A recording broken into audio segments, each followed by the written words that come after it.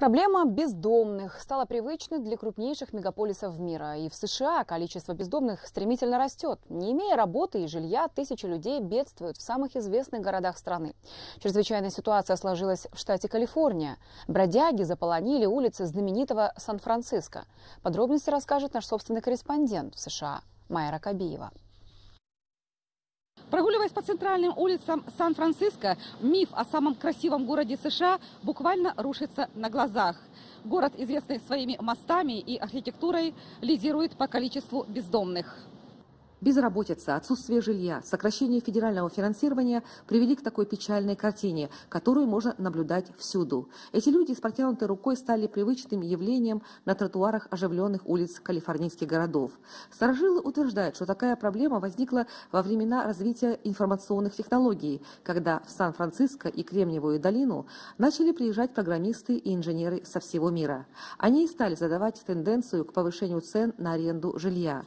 Появился огромный разрыв разрыв между высокооплачиваемыми техническими специалистами и бедными жителями этого американского штата. Другие говорят, что среди бездомных много наркоманов, людей, страдающих психическими расстройствами.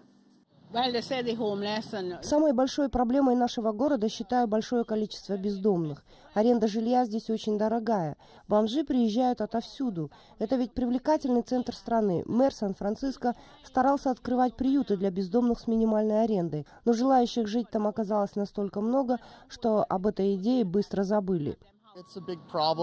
Это большая проблема. Мы хотим помочь и поддержать бездомных. Надеемся, что этот вопрос когда-нибудь решится нашими городскими властями.